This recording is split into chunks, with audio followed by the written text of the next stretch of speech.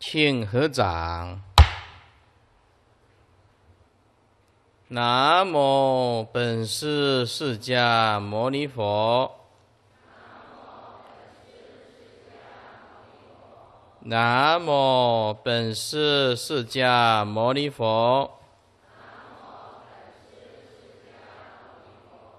南无本师释迦牟尼佛。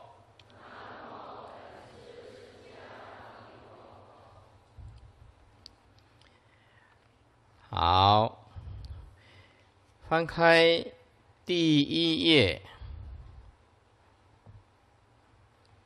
元婴法会序一啊。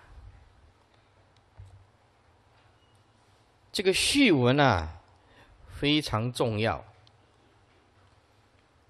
在讲经以前，先来一个简单的介绍，叫做序文。通常有自序，就是自己写的序文，就是为什么要写这一部《楞严经》讲义。另一个。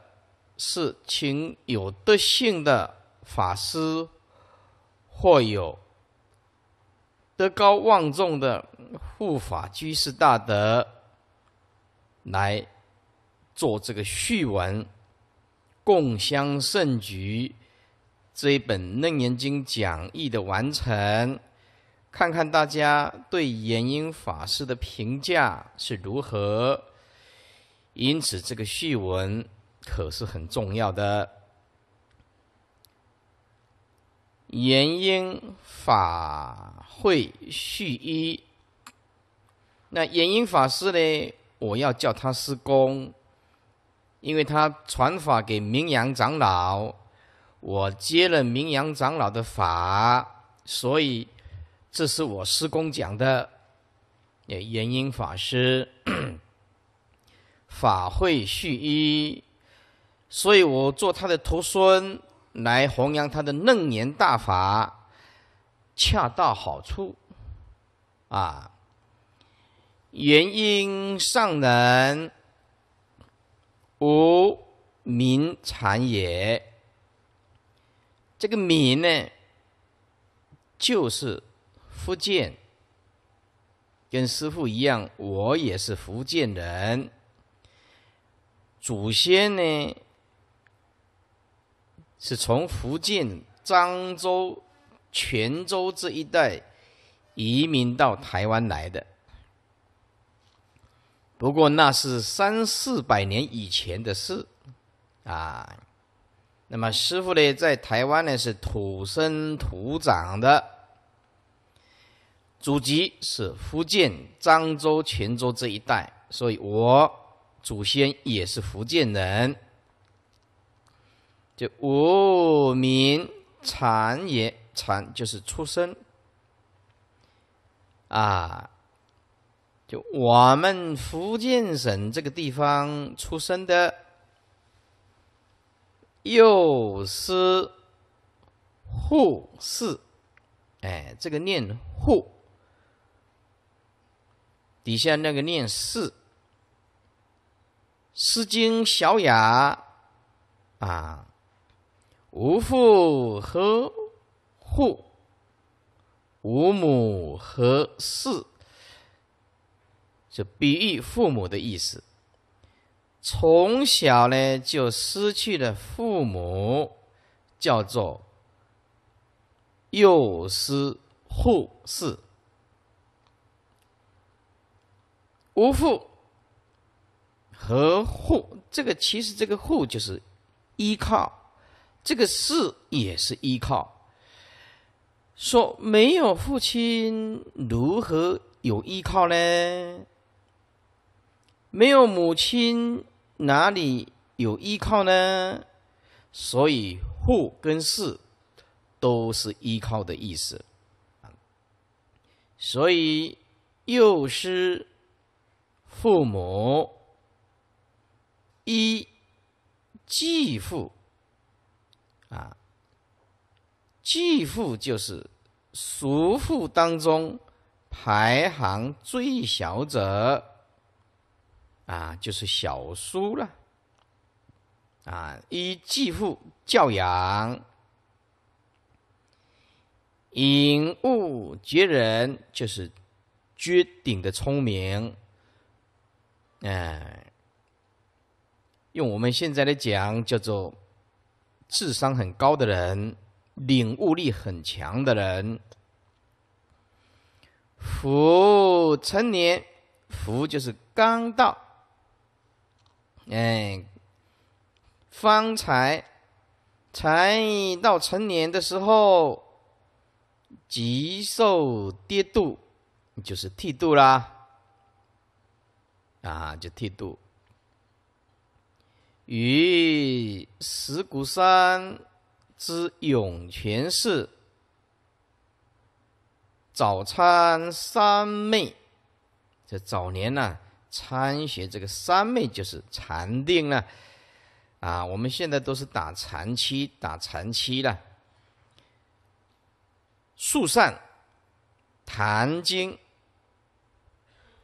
这个善呢，就善于就是专长的意思。一向善于啊，谈经就是言谈，这个谈呢，通这个谈话的谈啊。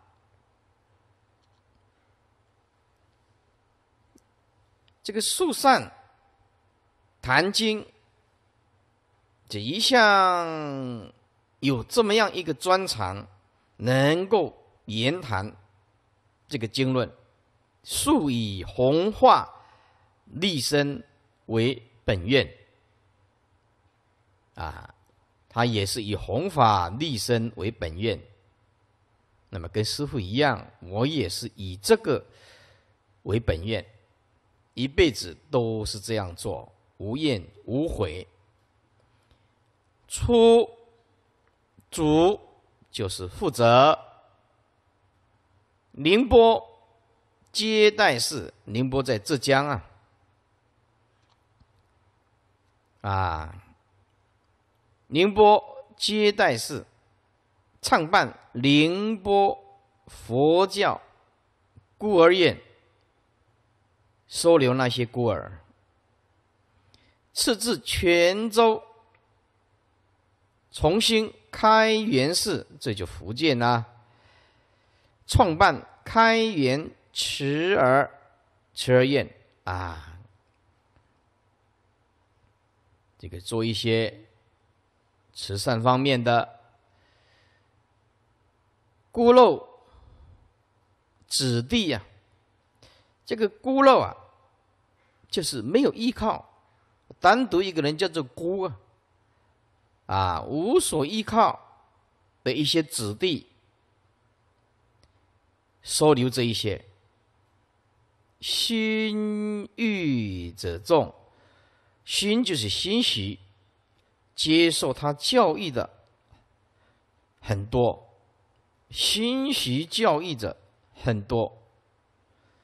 旋立内地啊，接着又经历了啊，来到什么内地？什么叫内地呢？啊，就是离海很遥远的地方，叫做内地。像台湾这个地形的四边都是海，没有内地可言了。啊，我们台湾如果以内地来讲，那就是南投了，是不是啊？啊，这先立内地啊，并南洋群岛，周流说法，与大圣教义多所阐明，阐明就是。说明显扬啊，显著的显，发扬的扬，说明显扬，意思是说对大圣的教义来显扬它，来弘法。生平的著作呢，把它编成法会。这个会啊，等于归类的意思啊。啊，我们说词汇，词汇啊，就是这个会。晋被推为宁波天童，就天童寺啊。七塔就是七塔寺啊。二大丛林。以及中国佛教会首席，那么就是会长喽，很了不起了，对佛教的贡献很大了。去年天童寺不戒于火，戒就是圣呐，啊，不小心着火就是火灾啦。叫做不戒于火，这个“于”就是等于的“于”哦。去年天童寺不慎不小心火灾了，火灾烧完了，没钱上人呢，则奔走四方。哎，我们。做徒弟的人到外面去称自己的师傅，有两种称呼，让人家觉得说你这个佛弟子是很有礼貌的，要称自己的师傅说我们上人，或者是我们的恩师。这个其他人一听到你这样子对你的师傅这么尊敬，也会特别的赞叹你，表示你能懂得用词尊师重道啊。如果你轻视了你的上人，也许说你的上人不会讲经说法，是个年纪很大的，看起来平平的。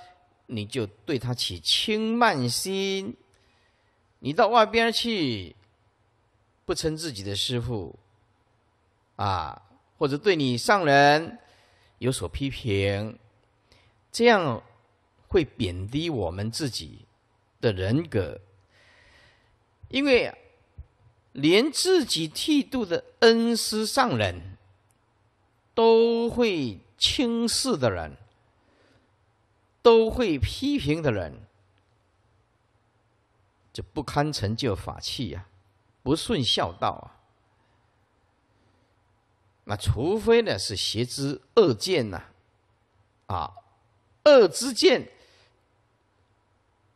你刚开始不知道，拜了他为师，后来你发现他是个魔恶之见，离开了。怕众生堕入恶之见哦，火坑下山途，那么做批评、客观的啊比较，让众生呢不要盲目，那么这个没有罪，因为这个是为了法身慧命啊，所以还是要看那个上人有没有正知正见。是不是讲的是正法？如果是很平凡，不会说法，也是我们的上人。但是会说法先乱说，把这个恶之见的毒瘤灌输给无量无边的众生，断了无量无边众生的法身慧命。那么这个徒弟的站起来，登高一呼，这个徒弟功德无量。但是这个徒弟必须要有大悟、精通三藏才有办法，否则你乱批评，你怎么知道你上人讲的法是对还是不对嘞？总不能凭你现在的情绪去评论一个高深大德啊！所以我们呢要拿捏啊，进退的度啊。还是要自己有功夫啊，否则我们还是做一个好的徒弟啊。说上人则奔走四方，木化重修，规模宏长啊。那么呢，就是宽大的意思，开阔的意思。为四明道场之冠，四明道场这个四明呢，是浙江鄞县。西南方，天台山北方山路一带，山路就是半山腰了，啊，两一个双木林底下一个呃路啊，叫做山路一带，总称为四明山，自古为。中国佛教圣地之一，啊，四明道场之冠，在天台中有四明尊者，坚毅烧制生产，这期间也稍稍微做一些收入，为了发展化育基金呢。世界公行施践呐，以求达其利济宏愿。在这里还是要说明一下，我们中国的出家人啊，现在讲台湾呢，台湾的出家众啊，很辛苦的，台湾的政府。并没有把哪一个道场列为国家的，所以从来就没有拿钱出来说这是我们国家级的道场啊，拨款一亿、两亿、三亿来资助出家人建道场，所以在台湾所有的出家人要。盖道场，无论比丘、比丘尼，盖道场，通通是非常辛苦的，向信徒募款化缘，包括师傅也是这样子，啊，所以我们呢，变成如果要叫人家直接拿钱来。化缘的不多，那么师傅还算是有一点福报啊。像中华体育馆讲经讲了四天，哎，就募了不少钱，算是有点福报。但是平常呢，平常就很少人拿钱来，因此在台湾会产生一种现象，就是做法会点灯。八度虽然是一种变相的化缘，但是这个也是生存的必要条件。有一个比丘来到讲堂，说：“慧律法师，你是一个很有福报的法师。”我说：“这怎么说嘞？”他说：“我呀，盖一个铁皮屋，要募款一百多万。”台币啊，才一百多万呢，还搞了好几年，一百多万募不到，募不到一百多万呢，啊，所以因为台湾的特殊情形，跟我们佛陀在世是完全不一样。佛陀当时在世，比丘不捉持身相、金银宝物等，也就是佛在世，出家人不能拿钱，手都不准去碰金钱。佛陀当时在世，旁边都有一个侍者。出家的比丘叫做净人。泰国现在也是啊。泰国现在呀，这个大和尚一出去呀，旁边都有这个侍者背着身带，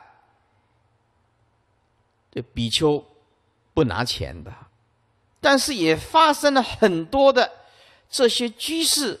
因为这个大和尚得到很多的供养，啊，整个身袋里面的钱通通带走了，也发生过这种情形，所以收了一些红包，很不容易要盖道场，又让这些旁边的居士整袋都带走，所以我就想到一个好的方法，就是自己带，比较没有危险。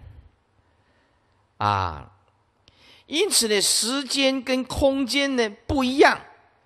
你要怎么样来论断？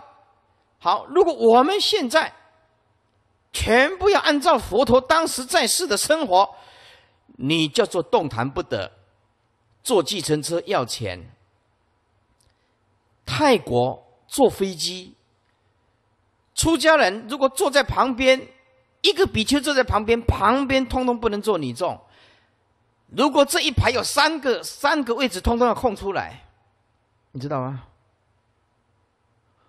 都不能碰到师傅，也不能走近靠近师傅，都不行，也不能拿钱，所以他们坐车子也不用钱。比丘坐车子不要钱，去泰国啊？那那在台湾呢？那你上计程车？就跟计程车司机讲：“哎，我是比丘呢。比丘又怎么样？And so what? Money, money，还是要钱呢？你所以在台湾呢，你不拿钱没有办法。因此不能怪台湾的法师这么聪明，叫你直接拿钱来，咱们彼此那种气氛有点不对劲。”那么，所有的道场办个点灯，哎，求佛菩萨加倍；办个八度，办个法会，哎，大家顺便来参与这个殊胜的法会，从中哎来学习佛法僧，信徒也高兴，出家众多少也有一点收入来做教育。建筑弘法的基金，虽然是有点变相，但是我觉得他有的真的是有苦衷，有苦衷啊。那么在泰国，跟佛在寺一样，他们的建道场都是政府补助，要建多大的道场，政府都有补助，当然也有私人建的道场啊。所以，那个泰国是佛教的国家，是全国通通支持出家人呐。走到哪里，大家都知道礼敬三宝的观念呐。在台湾不一样啊，是不是？啊，在台湾的基督教、天主教、一贯道啊、回教、佛教、道教、神教，对不对？通通有啊，是不是？哎，所以，哎，我在机场的时候啊，那个导游就是，哎，慧利，讲讲安尼叫安尼啦，啊，进来是泰国也死啊，泰国是哪哪里叫师傅这样叫的？你去泰国看啊，师傅坐在这个地方，那个徒弟的头不能高于上人了，上人就是高人一等的，叫做上人。你在泰国的时候啊，你去看啊，师傅坐在这个地方，像我去泰国见那个大和尚，啊，我们的华生啊，啊，他是在泰国，也是讲中文的，他的徒弟啊，啊，从门走进来呀，看到我跟他上人在讲话，都是几乎的趴着跪着，不敢头抬上来，我们两个坐的已经很低了。他那个头啊，经过上人的前面，就是低的非常低，就是我的头不能比师傅高一点点都不尊敬，是不是啊？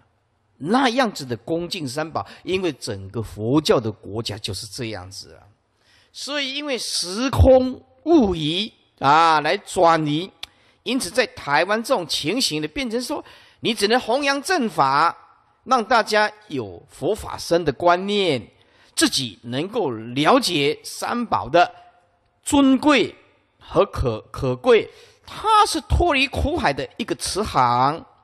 没有三宝，人天就昏暗，没有佛陀的智慧嘛，没办法解脱，没办法了生死嘛。所以因此啊，我们台湾呐啊，需要继续的推广正法。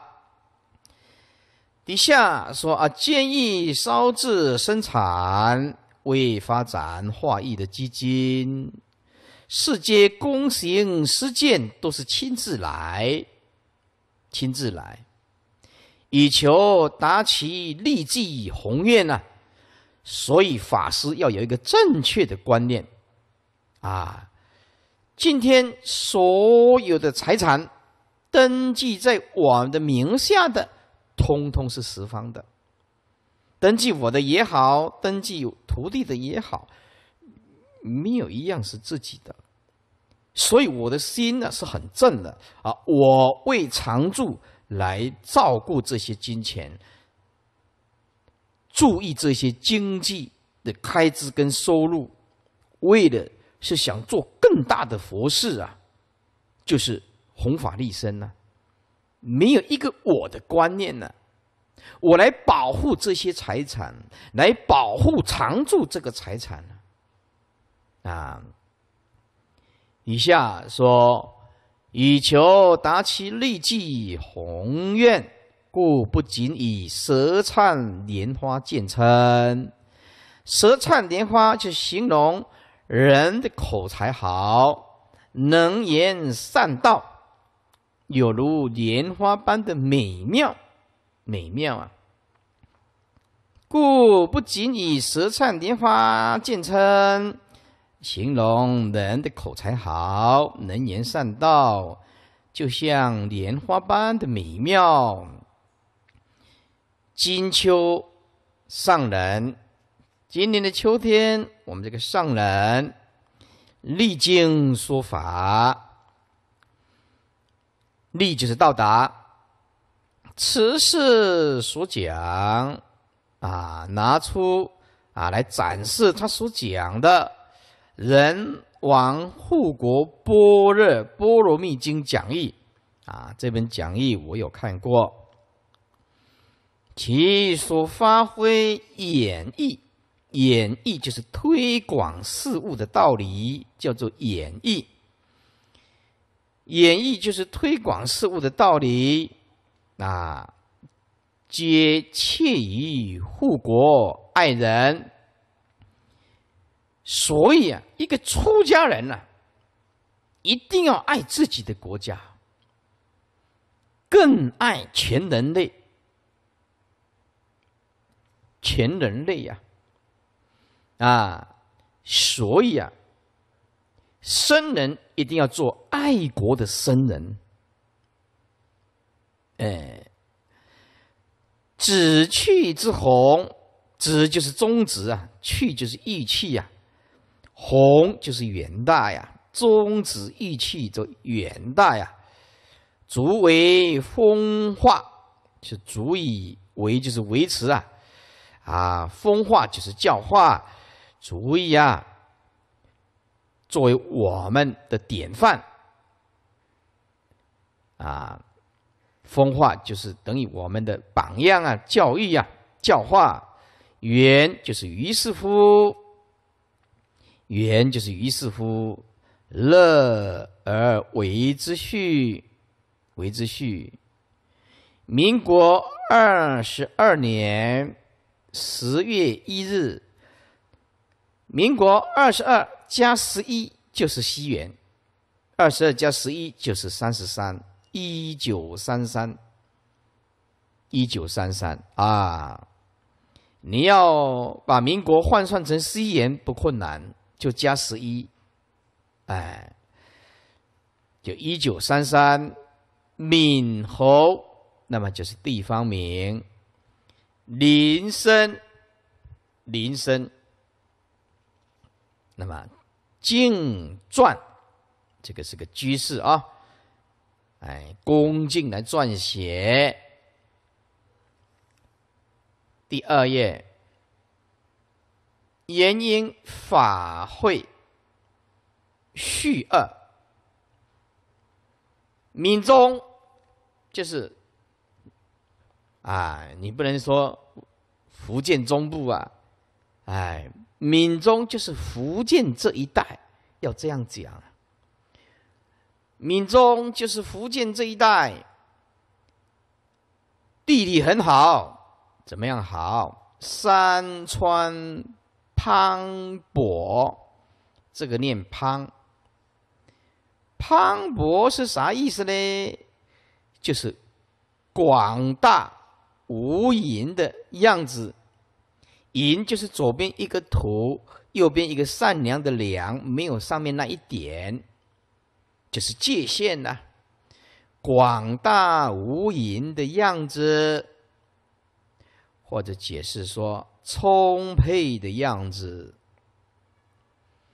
意思是福建这一带地理相当好，山川呐广大无垠，水量又很充沛，灵气所中啊，这个中呢就是聚集，哎，这个灵气啊。我们说，地灵就人杰呀，哎，这个灵气所中，这个灵气聚集呀，高声辈出。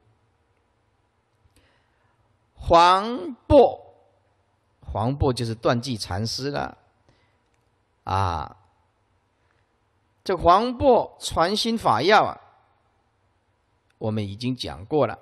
这个“薄”字这样写是不对的，嗯，一个草字头，左边是一个启发的“启”，上面没有一点；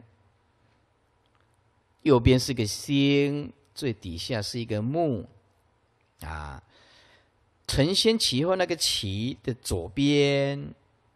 但是没有一点，哎，有黄檗断际禅师的传心法要，百丈清规啊，百丈定清规啊，啊，马祖见丛林呢，百丈定清规啊，古德流风，至今犹有存者。到今天还存在着。延英法师吉立古田，古田也是在福建呢。吉啊，啊，就是籍贯啦。隶呢，就是隶属于，意思就是籍贯，就是福建古田。这个早，这个跟这个念啊，跟早上的早的音是完全一样的。早睡脱俗，意思就是很早就出家了，啊，很早就出家了，叫做早睡脱俗，真参失学。了生死啊，这四个字可是很重要。不是咱来听经闻法，像世间人做学问一样的。诸位来听经闻法，是要得大解脱，要得大自在，才来坐在底下听经闻法。不是把自己搞得很有学问，佛法讲的头头是道，但是一烦恼来。就被击垮了，啊，孜孜不懈，这孜孜就是勤奋的样子。不懈就是没有懈怠，足能成就其德业。足就是最后，最后能够成就他的德业。没有成就，其实写不出这一部《楞严经》讲义的，写不出来的。光明俊伟。与先者同魁，这个魁呢是尺度，哎，这个魁的意思是先圣后圣，其魁一也。啊，先圣是以前的圣人，还有现在的圣人，都是从一个尺同一个尺度的。所以这个“则”就是解释作圣，所以先则，就是以以跟以前的圣人是同样一个尺度的，很了不起的。乡人是皈依坐下者，如水曲壑，壑呢就是山谷低洼。的地方，低洼的地方了啊，是如水去祸，这山谷低洼的地方啊。那么，比岁左喜这东，比岁就是同一年啊，叫做比岁。啊，同一年，哎，所以这个古德啊写的这个古文呐，要是没有一点呐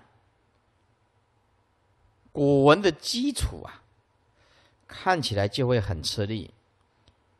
这个《楞严经》讲义呢，义理很深广，文字很优美，哎，就看大家的程度啊，啊。就比岁就同一年，着席就是安住于，哎，着席就是安住于，所以你看看啦，啊，我们如果文言呢不懂啊，就不知道这个着席两个意思是什么，哎，安住于浙东，先后住持七塔寺、天童寺两个寺庙。法以坦夫，这个坦呢，做个笔记。这个坦就是深的意思，夫就是散步。哎，这个步还要左边要加人字旁。哎，散步右边一个步啊，散步。法语当然就是指讲经说法了。就像我们讲堂，为什么呃命名叫做讲堂呢？就是讲经说法之堂，就是讲堂嘛，是不是啊？专门弘扬正法的一个道场嘛。法语坦夫，三根普被，三根就上中下，哎。叫做三根，上根气、中根气、下根气的普被，就是不分别的加倍啊。这普就是平等，哎，倍了就是所谓的加持啊，啊，加倍呀，也可以讲教化，上中下三根。平等的教化，不分别，都受益。于是指写序文的邻居士啊，于今夏诚意天童，就来到天童寺参禅道习，四时方言讲论言。当时候正在讲楞严经，知数细集，这个念细，知就是出家人呢，数就是白衣呀。知数就是出家在家，一同集合，细集就是集合。法师阐明义气呀，这义理呀，中去呀，机变纵横呢，非常有口才。哎，叫做机变。纵横呢？纵横就是没有障碍啊！哎，那么机就是非常伶俐啦，变就是口才呀。听者无不悦服，大家都心悦诚服。又以持戒为邪佛之要，戒是无上菩提本呢。应当一心持境界呀！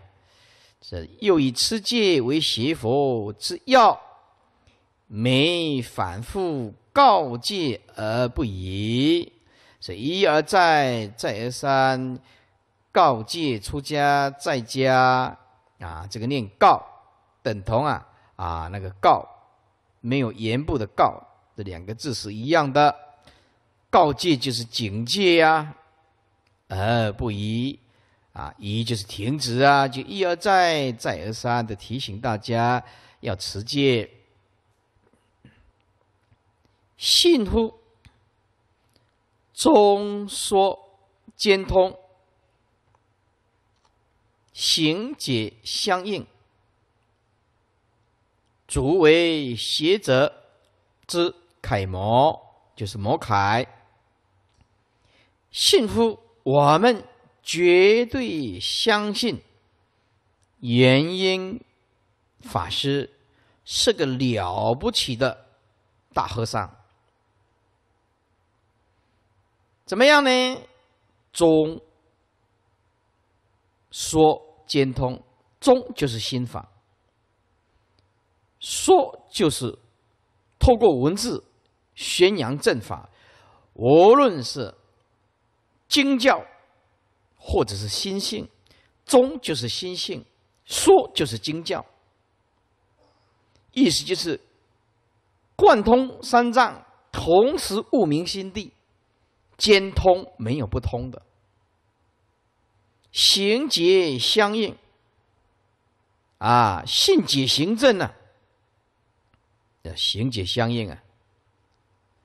足为学者之模楷，就是模范呐！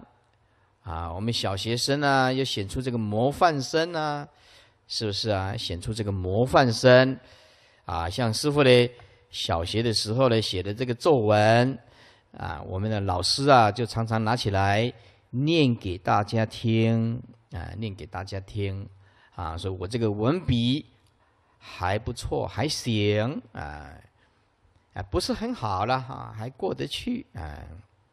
今上海佛学书籍以法师平生撰著《会科形式》，什么叫会呢？啊，就是同类的事物聚集起来叫做会。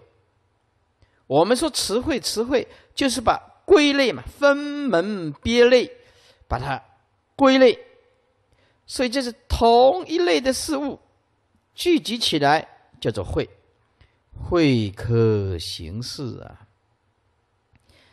真序于语，序就是写在文章的前面呢，啊，征求这个序文以我啊，是意思就是请我。来写一个序文，夫我佛设教就是世尊设这个教，法门虽广，法门虽然很广，无非使人结年托福。注意那个年，我们现在就是被烦恼黏住了。福是指贪嗔痴，年是指烦恼，啊，解年脱福，就是我们被烦恼黏住了，被贪嗔痴所困服了，动弹不得。卡在某一种观念里面，再来接着无量亿劫来的习气也难断，所以虽然听经闻法，但是烦恼断不了。哎，但是只要听到正法，一句一字一篇一个典故都不得了。只要哪一天与我心有契机，哇！恍然大悟，哦，原来如此啊！啊，我们拜佛拜了那么久，法会参加了那么多次，有没有抓到重点，能结年托福嘞？很少。我们法会做多了。有的人变成一部机器，啊，反正就是法会来嘛，就随喜啊，参加也不错。但是呢，习气呢，烦恼呢，还是搁着，因为没人讲经说法，自己也不知道回光返照啊，不晓得佛法佛法是心法，拜佛是为了解脱生死啊，是得大自在啊，以佛为榜样，念念提升自己的心境啊，不是划定一个格式啊，佛叫你每天这样拜，这样拜。这样拜就是要把频率调整跟佛一样啊，才拜佛啊。那你你这样拜佛啊，佛是佛，我是我，那拜佛有什么意思呢？拜佛是要进入平等不二的空性，心性像佛才拜佛啊，就是越拜越像佛啊。哪个越拜越像魔呢？拜佛是以佛为榜样。调整自己的慈悲喜舍的心。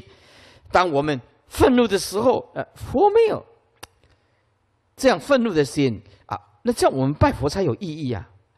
我们一边拜佛一边起贪嗔痴，那你拜佛的意义是什么呢？一般人不懂得拜佛的意义。能离所离性空寂呀，感应道交难思议呀。是不是啊？这句会会念吗？能理跟所理性空寂，能理的心，所理的佛，自信本来就是空寂啊，即心就是佛啊。拜佛如果不懂得这一层的道理呀，头撞破了流血啊，都不知道在拜什么啊。所以，拜佛在《阿含经》来讲的，礼佛拜佛不是比丘的重点。这个《阿含经》讲的非常清楚，比丘的重点在于关照、进入禅定、降服自我、得大自在、得解脱，这是重点，这是重点。那你说？那我们拜佛不就多余的了吗？还是要拜佛，因为我们还不是没成佛啊！恭敬的拜，恭敬的念，听经闻法。师傅在强调的是什么呢？拜佛念佛是要提升自己的念力、慈悲力、智慧力、愿力、布施、持戒、忍辱、精进、禅定、般若，一直提升，一直向佛的。究竟觉迈进呐，这样才叫做念佛拜佛啊！不是等着佛来同情我们呐，要弄清楚方向啊！我们自诚恳切，同时要一心不乱呢。你有虔诚心，但是烦恼很重，感应力不大。我们有这颗自诚恳切的心拜佛，我们一定要懂得智慧般若的法门，才能够脱年结福啊。因此啊，这一句啊特别的重要，说无非使人结年托福、明心见性而已。邪道之事，真机历久啊，有误于第一地啊。这一段什么意思呢？修学佛道的人。就是学道之事的真机历久啊，是真的功夫，下真实的功夫，而累积了力量很久了，叫做真机历久，意思就是真修行啊，不是晃一下骗骗人呐，是下功夫，真的在修行啊。所以在座诸位。要把一切伤害你的、毁谤你的、给你痛苦的、你的逆境的，通通要感谢他，因为他就是让你增肌历久啊！哎，你要发个愿，不要被打倒，这个才是大丈夫。有物以低一地呀，低一地。啊，就是就近一时相啊，灵光都要窘脱根尘，虽不立文字可也。什么叫做灵光都要呢？啊，因为悟了第一地，我们的佛性的光芒就显现出来。哎，就灵光毒药，窘脱根尘。这个窘啊，就是远远的摆脱啊，就是窘啊。窘就是远远的，脱就是摆脱，远远的摆脱。根尘就是净啊，六根对立六境引起的种种的痛苦、执着和烦恼。为什么？因为他悟了第一地，第一地就是就近空相啊，平等啊。无我无人呢，无众生无受者啊，只有清净自信在作用啊。所以灵光都要窘脱根尘啊，虽不立文字可也。啊，一个大悟的人不立文字也行，因为佛法是心法嘛。其或明宗弘教，如果要把它转换成语言文字。叫做明宗弘教，明佛陀的心法，用言语弘传佛教，发为文词，发就是转化，把它转变成文字啊语词，等身著作。这个等身著作，意思就是数量之多，与身体相同的同样的高，叫做等身啊。本身就是说，我这个著作啊很多了，哎，啊很多，哎呀，这个著作很多，哎，写的跟身体一样高，来表示著作很多的意思了，叫做等身著作啊，亦可也可以，何以故？为什么呢？此心即空啊，我们心既然悟到诸法毕竟空。那么，则文字跟实相就不相为异。你用文字来表达也行，空中言教要沉默也行，因为大悟啊，就是第一点。语默动静体安然呢？语就是说，默就是沉默啊。无论是说跟不说，体安然，这个心悟了第一地啊。本不生，本不灭啊！以默动静体安然呢？化为文字也行，沉默也行。是此心即空，则文字与实相不相为异啊！故法师愿力啊，弘毅，弘毅就是坚定的毅力啊！啊，意志果决的样子啊，叫做毅呀。所以法师愿力，弘毅。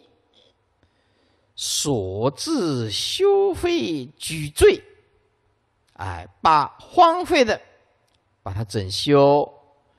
举呢，哎，我们举本来的意思就是说，哎，把它抬高，举高就是举呀，啊，罪就是怕它堕落，所以把这个呃没落的地方，哎，把它建筑完成，修废举罪啊，就是说把荒废的、坠落的。把它重修，哎，完整，巨细靡遗，巨就是大，细就是小，靡就是无，从来没有遗失，大小不一样，就是大小事啊，都做得很好。至于挺身卫道，就是保护佛教啊。处事变兼为之会啊，处就是处于事就是种种，哎，处事变就是处于种种的变化、艰困危险的时候，智慧就是的时候啊，不处这个处就是恐惧呀，一点都不恐惧，不鸟。就是屈服，哎，鸟啊，不触不鸟，就是屈。这个鸟就是屈服，也不恐惧，也绝不屈服。哎，就是做法事的人一定要很有骨气呀，很有志气呀，不恐惧，不屈服啊，能吃苦啊，哈，能吃苦啊，尤为难能可贵啊。为其真理计策，因为啊，他大悟了。这个真理呀，既然彻悟了，就应悟无方啊。这个应物就是接待啊，事物啊，意思就是说，他的做人，他的圆融。无方就是没有一定的格子，那么就是骗十方啊。所以出家人呢，叫做方外。所以啊，啊，什么往生呢？我我们那个啊，复文是不是啊？第一个就写师傅方外难。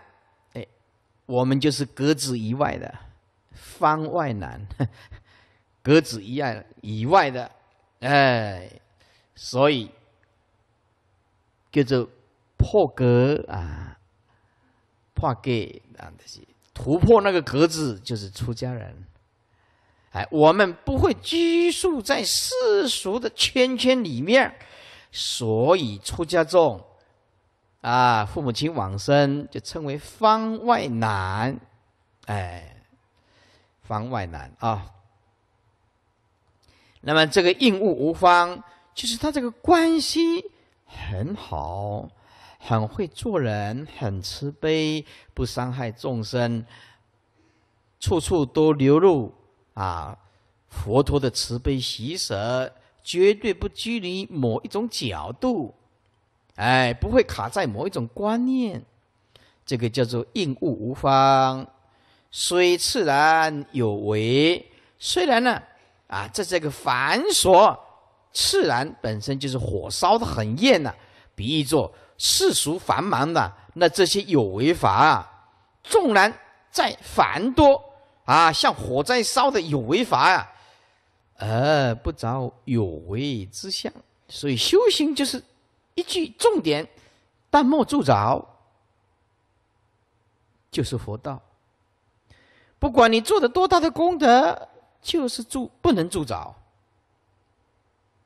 所以虽自然有为而不着有为之相。所以观法师之文，这延音法师所写的，即事即理，讲到四相，四相就是种种众多的四相，理呢就归一，就是无生之理呀。啊，所以事就是讲因缘果报，叫做事啊。缘起的角度叫做事啊，理是站在性空的角度啊。缘起就是性空，性空就是不离缘起，不坏缘起，就是即事相，就是无声的理，无声的理不坏事相，才叫做即事即理呀，圆融无碍。所以大悟的人绝对不会坏事相啊，他一样对待众生慈悲，有宽恕，有爱心。他不会说：“哎呀，大悟以后这个人的个性古怪，啊，跟人家格格不入。”这不叫做大悟，这叫做怪人呐。哦，真正的悟即事即理嘛，即理即事嘛。大悟是我们内心自己解脱嘛？以佛的心跟众生相处的非常的融洽，因为事就是理嘛，理就是第一谛嘛，圆融无碍嘛。而佛法之体用彰明啊，注意这里啊，彰明就是体用就显现出来，这里要写十二个字。一体起用啊，色用归体，体用一如。这十二个字，就是体跟用最贴切的形容词。一，一体起用，一就是依靠的依呀，不是一二三四的一呀。诶，我不讲，很多人会写错了。你不要以为。底下的人学问都很好，他的两个眼睛瞪得很大，笔拿起来很一直抄，错很多的，不骗你的，啊，有的人讲经说法没记起来，专记师傅的笑话，啊，一体启用，这依靠不生不灭的清净真如本体而起这个作用，色用归体，色无量无边的用。归不生不灭的体，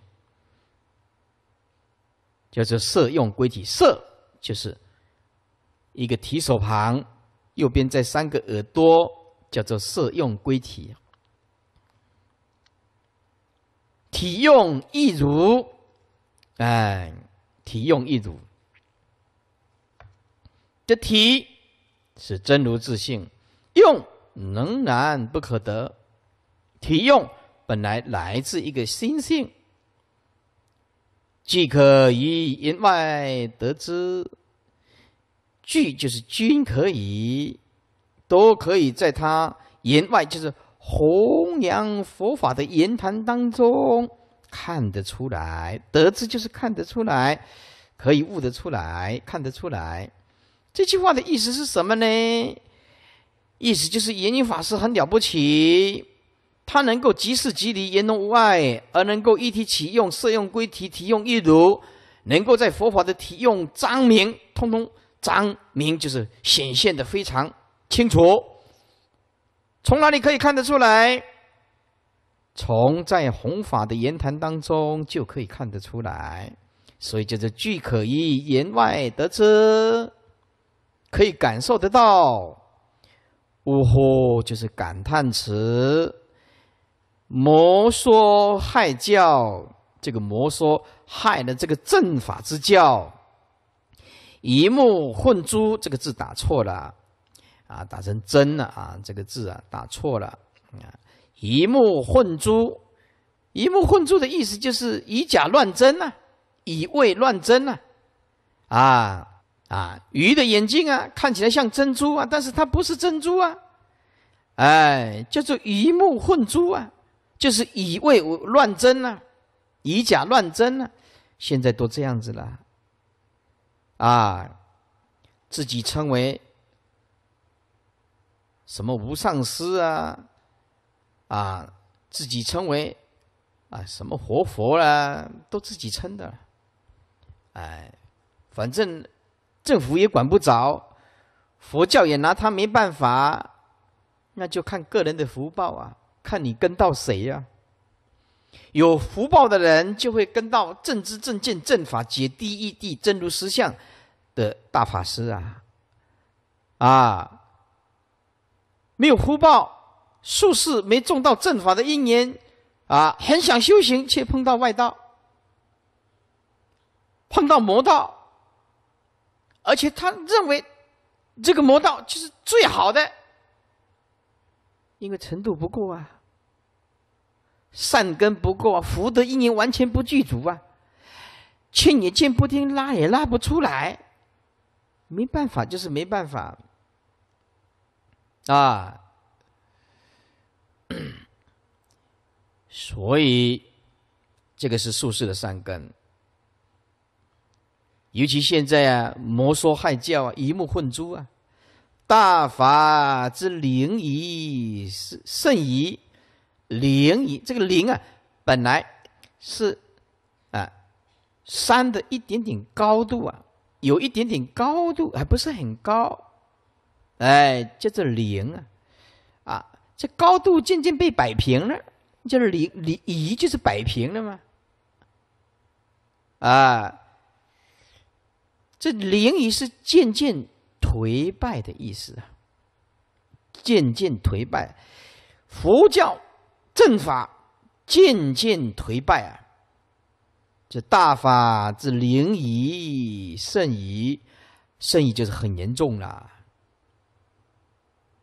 我们离佛太遥远了。没有佛的这种大智慧、大神通、大正悟的圣人呢，两千多年了，弘扬正法这个责任就落在比丘、比丘尼呀，啊，以及护法居士咱们正法的佛弟子的身上啊，就是内弘外护啊，出家人弘法，在家居士要护法，尤其。我们台湾呢，这三四十年来的转变呢，是啊非常大的。三十年前，大家叫比丘尼叫做菜姑，哎，所有的电视、小说都这样演，都这样写的，受到打击才出家的。啊，所以大家根深蒂固呢，对出家人不认识。哎，再来儒道是大家都拿香的，所以大家也分不清楚。所以我们从小也不知道什么叫佛教。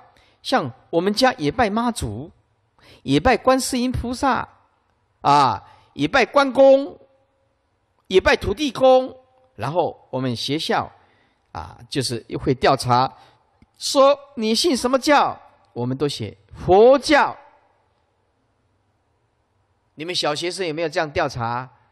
对不对？连拜神的通通写佛教啊，因为不知道那是都分不清楚啊。所以呢，这三十年来，师傅呢是怎么用功呢？是怎么样弘扬正法的？在每一个县市，都借文化中心啊、体育馆，那是最大的。这样子个点呐，抱病上台啊！哦，我看到台湾的今天佛教啊，哎呀，可喜可贺啊，是不是啊？以前的外道力量很强啊，非常的强啊，啊，现在呢，佛教的力量在台湾呢算是最大，单单一个佛教就有六个电视台啊。六个电视台啊，啊，基督教只有一个电视台，叫做 Good News，好消息，Good News 啊呢，可见呢，政府开始重视这个佛教，三十年来的怎么个转变的？我尽一点心力了，不敢说功德都是我的啦。不过我真的尽很大的力量啊！底下啊，有如法师言句啊，引经据论，含义深广而归于平时啊。就像法师里面所讲的圆寂啊，都是引经据论呢，有所根据的这个含义呀。包含的义理啊，很深很广的，而归于平时啊。平时就是一般人能够接受的，哎，而归于平时，就是你生活当中就可以显示佛法，叫做平时啊，对不对？你这个佛法你讲的啊，很玄很妙，高不可攀。那那大家知道佛法是什么呢？所以师傅以前哦。我告诉你，我要去中华体育馆，台北中华体育馆那几万人演讲的时候啊，都不被看好的嘞。我要去台北中华体育馆演讲啊的时候，佛教界都不不看好，尤其北部的，传来一个消息，哎，说你跟慧立法师讲。他在南部啊是很有名的，他来北部啊，那搞了几万人这个大场面，那肯定没人，肯定没人呐，就斩钉截铁说：“师傅到台北中华体育馆演讲，一定没有人来听啊。”然后他们就就把这个信息传给我嘛，啊，是师傅嘞，办不办？我说办，那有把握有。有信心，有，哎，好，就开始办了，啊！我告诉你，办的时候啊，第一天满到什么程度？满到那个中华体育馆呐，所有的位置通通坐满，前面的底下啦，体育馆的底下打篮球那个地地方啊，坐了六七百个，都是法师啊。坐满了，外面还有一几千人都进不来。我说啊，法师，你的意思呢？就开开大门，通通让他们进来，席地而坐，把所有的体育馆的走廊、航道，不管你通往厕所哪里，通通挤爆满。外面还有几万人挤不进来，剩下我这个位置没有坐，没有坐人而已。啊，对不对？啊，第一天呢，啊，一讲的时候，哇，佛教爆炸，四天没有一天不爆满。啊，外面我跟他讲说，外面再继续用闭路电视。刚开始的时候，大家就说：“哎呀，威利法师，里面能满都不得了了，还要搞外面好个闭路电视，都不相信我的话，不相信我的魅力。”都不相信，我说：“哎呀，你们会后悔的。”他说：“师傅，你一定会后悔的。”当来没有人的话，说没有问题啊。结果就来爆炸，外面还有好多人都进不来，都进不来。那时候还没有建讲堂，佛教从此以后每一个道场通通在打八关斋戒，皈依通通按照师傅的皈依轨。把佛教整个带动起来，啊，哎，所以讲到这个地方呢，我就觉得我的生命呢很安慰，哎，尽心尽力的，所以佛教有今天就是这样一点一滴的带动起来，啊，为什么？因为师傅讲的法就是归于平时，就是你生活当中就会触动佛法的灵感，跟我们的生活息息相关。是能灿真灯以济昏呐，啊，灿就是光耀，真灯就是佛智，与济昏就是迷惑众生。是能就是因此能够光耀佛的智慧之灯，以一切迷惑、迷惑颠倒的众生，续慧命以将罪者，我们要延续佛陀的法身慧命啊！如果没有法师来弘扬正法，这个世间就昏暗，人生跟宇宙当中就没有觉悟的圣人。与安得不为之？往复赞叹也哉！我安就是真的？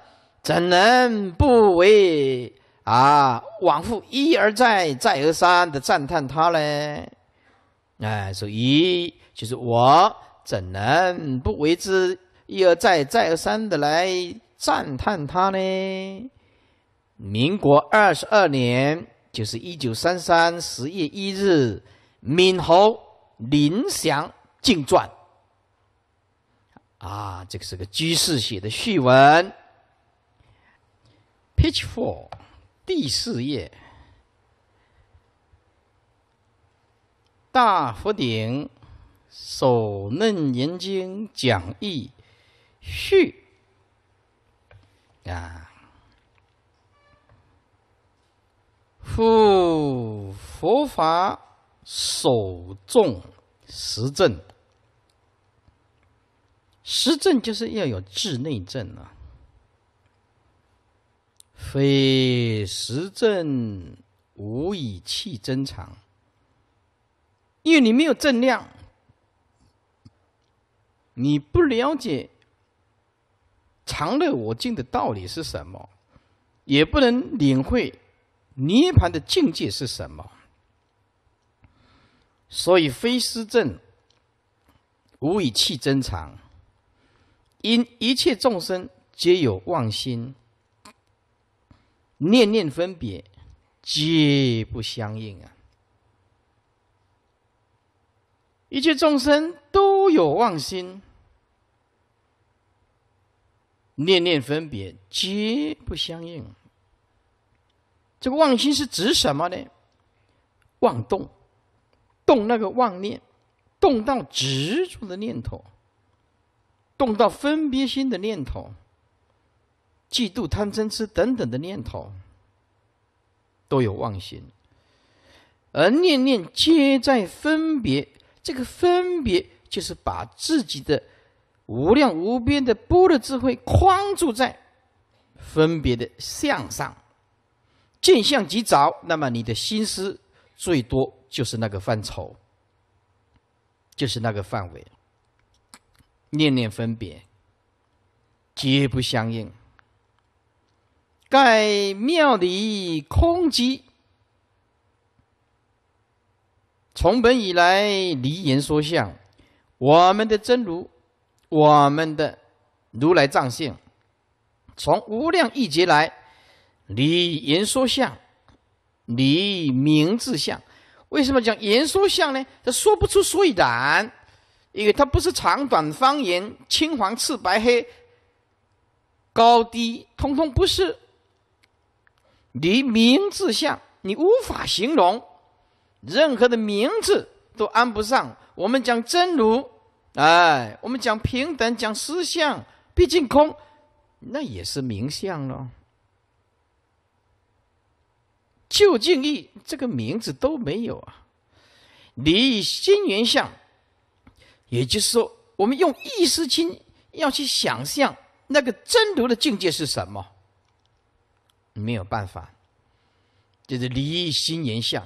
心想要变成一个去攀岩这个真如，没办法，因为它不是能言跟所言的东西。究竟空寂，它没有能言跟所言呢，所以你言不到啊。是离心言相啊，乃离念境界，为正相应故。经云：言妄显诸真啊。说到这个妄，是为了要显真心。我们讲有妄心，是为了要显这个诸真呢。种种的真心呢？如果你还着一个真心，那么这个真心又变成还是妄，所以叫做妄真同恶妄。就是希望即见真，不能妄以外不能立一个真。如果妄以外立一个真，又变成妄。所以啊，言妄显诸真，讲妄心是为了要显示不生不灭的真如自性，是没有妄心。但是离开妄心却找不到真心呢，所以言妄是为了显真。如果你立一个真，那么这个真又变成妄，就变成妄真同二妄，知道吗？啊，是真如藏性，不可以再立一个真，即现实就超越。即此一言，就是这个道理。然众生之意气入思相，必先假名言，以为助言。我们想要契入这个不生不灭的实相，一定要先假借这个名词。像我们今天来上这个《楞严经》，就是假借这个名言呐、阴身呐，做佛事啊，要不然怎么办？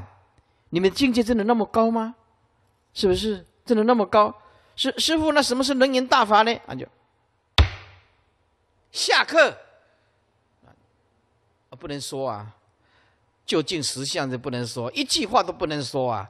这个就是功夫到家，是不是啊？所以我们要方便说，方便说，诸位能够体会多少算多少，哎。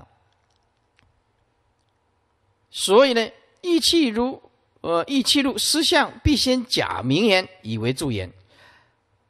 此世尊所以苦口婆心广说法要。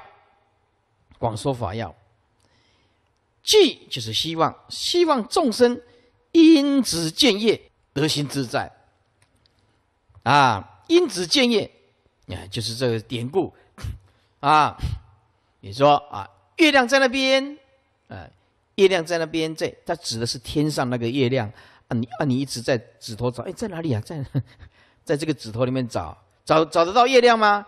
找不到月亮，就是啊，你要你要朝着那个方向去嘛，方向去嘛，哎，所以碰到正知正见正法的，他就是一直朝着这个正确的方向去践行啊，去进行啊。虽然是一点一滴很辛苦啊，但是值得啊。环境，会影响到一个人的思想。日本啊，发生了一个可怕的事情啊。一个儿子嘞，十七岁的儿子，趁他母亲在睡觉的时候，砍死他母亲，同时把他的头颅割下来，割下来，把那个头颅呢，血淋淋的头颅呢，拿去派出所。他说：“我要自首。”说：“你为什么要自首？我杀死了母亲，杀死了自己的母亲。”嗯，那。警察以为他在开玩笑，打开那个盒子，一看，哇，一个人头，一个人头。后来去查证，他为什么会杀死自己的母亲，把那头颅砍下来呢？看漫画的，看日本的漫画，你知道吗？那个残酷的漫画，十七岁的小男孩。天天就看那个残暴、残酷的漫画，就杀人了。他说：“我现在真想杀人。”跟警察讲，他一点悔意都没有啊。他跟警察讲：“现在没有战争，要不然我去杀人。”因为他每天都看那个杀人的漫画，每天都看那个杀人的漫画。啊，那没有人杀，我干脆把自己母亲杀掉啊！啊，把自己母亲杀掉，把那头砍下来啊！把那头砍下来啊！哎，把那头砍下来做什么？这样可以消灭世间的魔啊！嗯，那个那个观念呢？那个实在是想不通。自己的母亲生他养他，他只有看几本漫画，就得把他的母亲的头砍下来。另另家老母瞪以后，哎哎蛮困就就看注意了，不骗你的。你们这些当母亲的回去晚上睡觉稍微小心一点。看你儿子在磨刀的时候，就漫画看很多，所以那个儿子啊，要教育儿子，就是这个儿子已经交到坏朋友了，看到不好的影片啦、暴力啦、色情啦，或者是啊，已经呃走入这个歧途了，或者是你最看的那个日本的漫画，做母亲做父亲的人要要赶快就纠正他，否则来不及。活活的母亲这样子，趁他母亲在睡觉的时候砍呐。那日本没有死刑啊，日本没有死刑啊。唉，所以我告诉诸位啊，这个世间呢，要学佛，要正知正见，碰到大善之之，有好的环境，要四肢健全，六根具足，很难，很难。哎。很可怕的思想哦，很可怕的思想。前几天也报道了，啊，一个五十几岁的，哎，然后他的女朋友是四十几岁的，说要跟他离呀，要我说啊，我们要分分离，哦，那不得了，跑去他家把他放一把火。放一把火，把他的女朋友烧死啊！就说要分而已，就放一把火就烧死了。所以，我们内心就孕育着无量无边的无名烦恼的种子，是哪一天要爆发不知道，哪一天要爆发不知道。因此，找到一个好的老师，一个好的环境是非常重要的。所以，无论你坐在这个这个底下三个钟头，你都要记得值得，值得这样做。哪怕是一句，哪怕是一个字，哪怕是一个典故、一个故事、一个比喻，让我们获益，我们心开意解，做多久都值得，值得我们这样辛苦啊！啊，以下啊，这即众生因子见业呀。得心自在啊，而入于三昧。纵观一代实教，阐明重凡自胜，而事离并重者，莫于受楞严经。没有一部可以超过楞严经的，因为这个是四根理啊，是并重、禅净、立密，通通记住的一部经典呐。但是因为很深呐，很少法师讲这一部经典。那有呢，台湾呢也都是用台语的讲了，啊，所以大部分只能利益闽南话的福建和台湾的众生。那么师父这次用国语讲《楞严经》，希望能够利益无量无边全世界的佛弟子，国语听得懂的都能受益。啊，此经以阿难尊者。误堕淫事，啊，这个是视线的，啊，误堕淫是。阿难是佛在来的，他没有视线误堕淫是，哪来这本楞严经可以讲呢？大家都平平静静坐在那边，也没什么经好讲的，他就总是要演一出戏给你看，叫视堕啊，视线这个堕误堕淫是，恨无始来，一向多闻。为钱倒立呀，啊，只听经闻法没什么用，怎么样？无法保全你的道力，就是你没有培养这个定力，很容易受挫折、干扰。所以，什么是大彻大悟人的心境呢？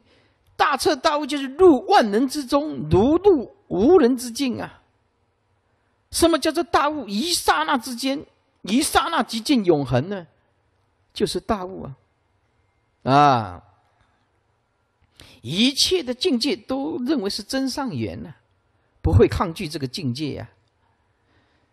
殷勤其请，十方如来得成菩提，妙色摩他，妙三摩，妙禅那。这个妙要用三次，妙色摩他。妙三摩，妙禅那，妙色摩他翻译成中文叫做止，就是定中有慧；三摩翻译成中文叫做观，叫做慧中有定；禅那翻译成中文叫做定慧均等。我们来张啊，科判已经简单的介绍了。最初方便，于是世尊敷言弘文十卷，敷就是陈述，言啊弘文就是长啊，长长的，弘就是大，就是长的意思啊。整整整讲了十卷，由性而相，由显而密，由解而行，由行而正。侧中侧实，广度有情。言因法师者，今佛门之龙象也。哎，不是龙就是象喽。慧天慧性天生，哎，意思就是很有慧根呢。智慧之性啊，是与生俱来的。与生俱来的，术士的意思。辩才无碍，弘师发语，中外咸瞻。哎，中就是中国啊，外就是中国以外的啦。啊，因为他还去南洋一带弘法啊，咸瞻都猛受其法意，著作形式。十有一种，他的著作我都看过，写的特好。十二年前，曾撰《楞严纲要》一书，这一出来，哇，明灯普照，广辟遐迩，遐就是远，迩就是近，哎，广辟遐迩，哎。广大的利益，这个“批”就是利益了。远近的众生，待年六十八，那等到六十八了，死刑注释此经，才开始写这部经啊。以四十余年的钻研，你看看呢，四十余年了。诸位要写这一部书，总共用的四十多年研读才写出来的，所以我们为什么要用这一部《楞严经讲义》来作为主要的讲本参考资料？因为近半世纪以来，《楞严经》的注释无人能出其左右。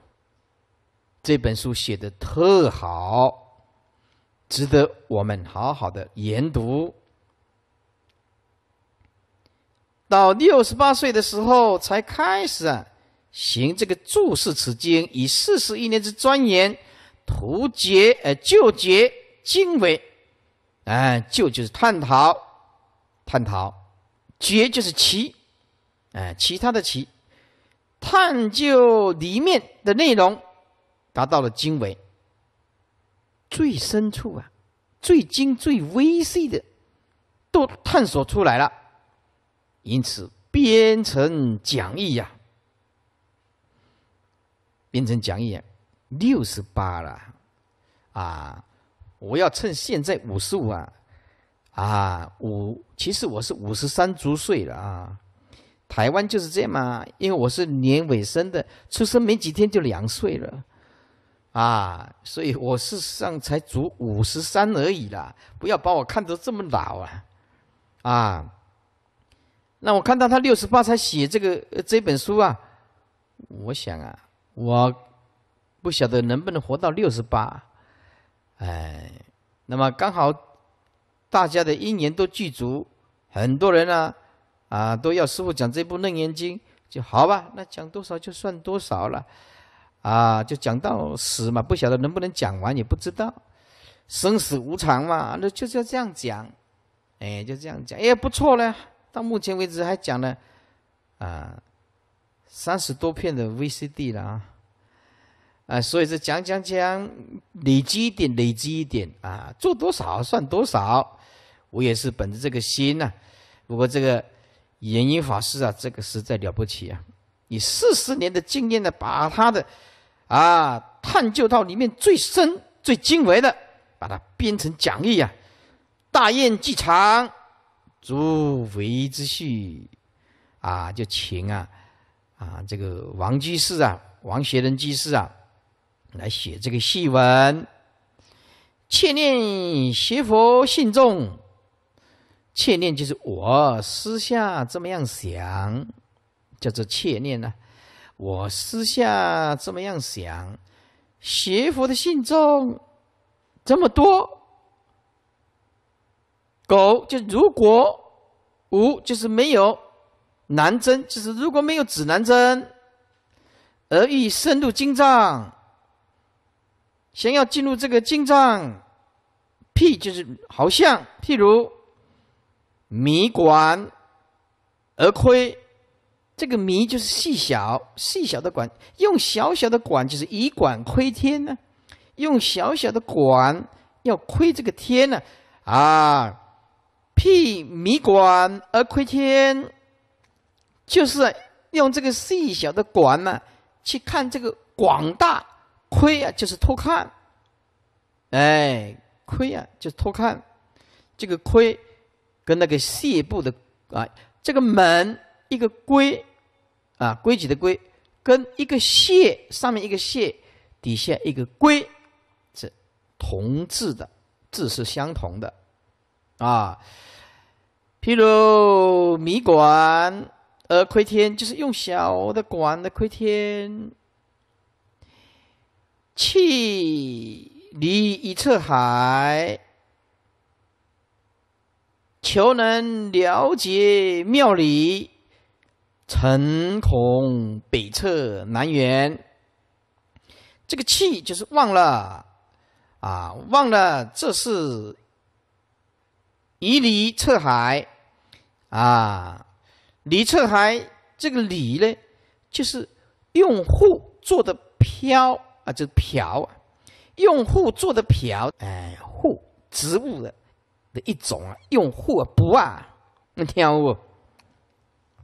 不啊，户用户做的瓢，这个瓢左边一个票，嗯，那个机票那个票，哎，机票那个票，啊，是吧？股票。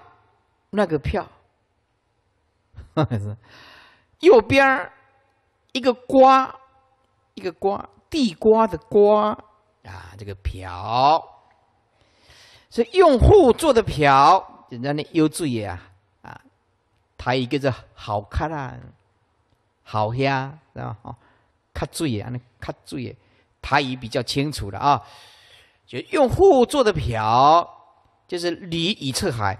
那个要测什么海呢？这一瓢了一点点水的海那么的大，这个意思就是，哎呀，里测以以里测海，就是比喻见识浅陋，用离漂啊测量海水，用离漂测量海水，就是比喻见识浅陋。说我呀，这个气就是忘了，忘了我自己呀，见识浅陋。啊，有忘了众生的见见识浅陋，哎，众生见识浅陋，要能够用这种能力去求，能了解这个如来无上的妙理呢？成就是恐怕，恐怕怎么样？北侧难言，这个侧就是车轮碾过的痕迹呀，车轮碾过的痕迹呀。南辕呢，就是驾车的木头啊。啊，车子碾过北边的痕迹，怎么可能跑到南边呢？北侧就是车轮碾过的痕迹，往北走啊。北侧往北边碾过的痕迹，当然往北走啊。南辕呢，往南驾车的木头啊，当然往南边走啊。所以这个啊，一个北侧南辕就是南辕北侧了，一个往北，一个往南，表示不同方向啊。这句的意思，我整句把它念一下。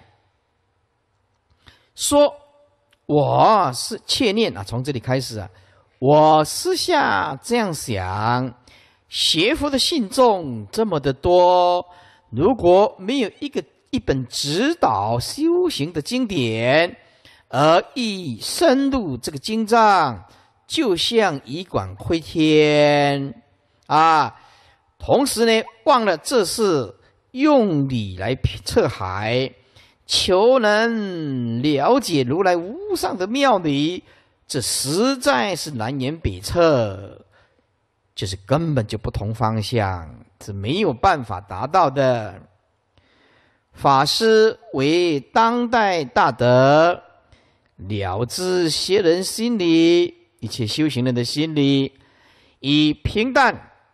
言辞掩饰甚深的精义，方便善巧，犹能契合时机，而堪教经文，堪教就是再一次的审核，叫做堪，再一次的审核，堪教就是校对，而堪教经文呢，正其错简。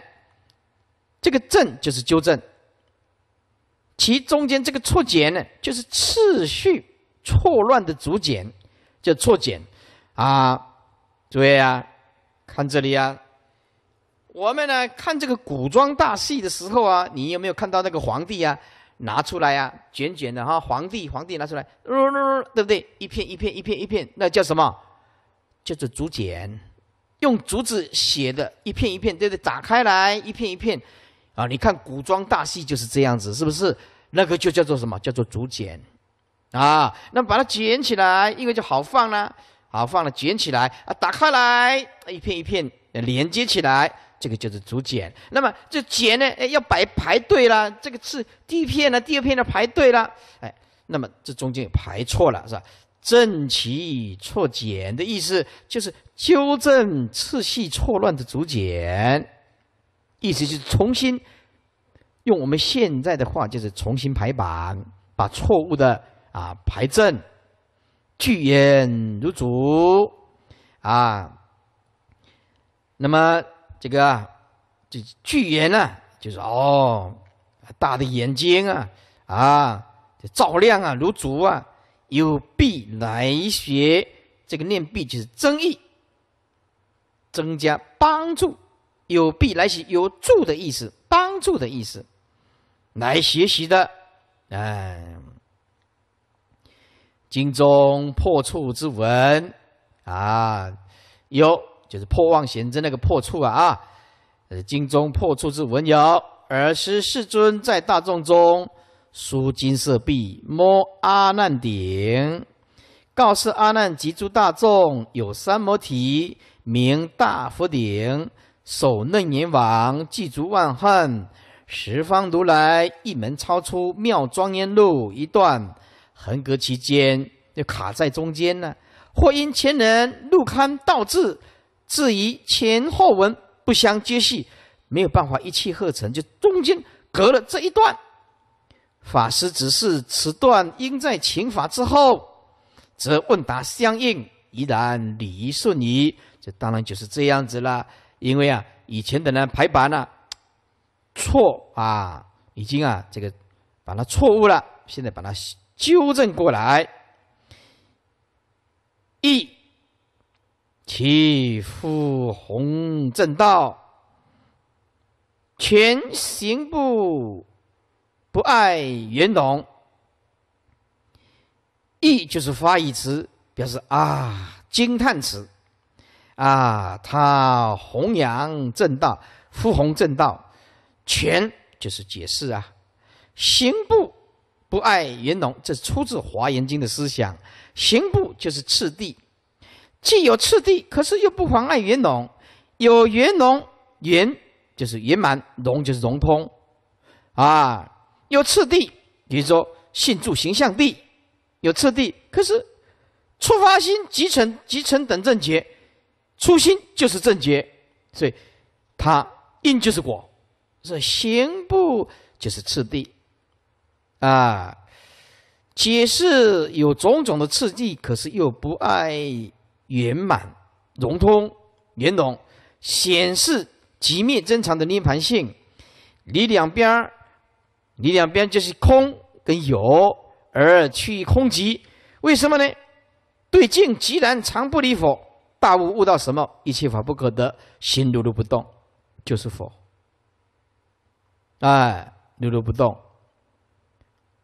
这个如如不动啊，可不是那么简那么那么的简单，不是你心想的。我什么都不想，叫做如如不动，不是这样子的。那个如如不动是悟到究竟坚固的如来藏性，本性天然的那种如如不动，不是加了一层力量让它如如不动啊，加了一层力量让它如如不动就是动。这个可不是你想象的这么简单。正由啊，那么正有真辉与太阳啊，我爸爸的名字最好记了，就是真辉了啊，增加光辉了。正有真辉与太阳，助生以济祸啊。太阳本来就有光芒吗？啊，本来就有光芒嘛。一切众生呢，都以太阳为神呐。但是天文学告诉我们，太阳在五十亿年后会毁灭啊。这个就应验世尊讲的“成住坏空，成住坏空，成住坏空”啊。科学家用天文望远镜看了老半天，才抵得过世尊一句话。世尊比如说观天地无常啊，刹那之间之间都是无常啊，哎，而他们用那个天文望远镜一直观一直观了二十年，都是博士讲那句话说天地之间无时无刻不在变化，啊，世尊一句话，这科学家要弄二十年，还是博士嘞？他们才发现他们所讲的世尊早在两千五百年就早就讲过了。啊，这个世间没有一件事情不是时时刻刻在变化了，嗯，所以是不实在的世间，我们就是被不实在的事情迷得团团转，搞得痛苦不堪。助生以济祸，祸就是三谷，哎，更深使太阳增辉啊！助生以济祸，法是功德。沾盖沾就是小雨，就是小水啊；盖就是灌溉，灌溉就是大水啊。沾盖迷穷，迷就是无啊。这个沾是小水，无论是意思是指小根器的人，哎，小根器的人只要一点点法就满足。盖就是大水，指大根器的人。这意思是小根器的也受益。大根器的也受益，大小根器受益无穷。哎，就沾盖无弥穷啊！啊，大小根器受益无穷。无缘慈悲，缘就是条件，没有条件的慈悲，这个就是从透从清净自信透露出来，没有任何条件的慈悲，无言大慈啊，同体大悲啊。这同无量矣，这是无量啊，功德无量啊，无言慈悲同无量矣，等同无量啊。辛卯就是民国四十年，一九五一，孟春之旺，孟春就是春季的第一个月，也就是阴历的第一个月之旺就是十五，也就是一九五一农历十五，换句话就是就是元宵节的。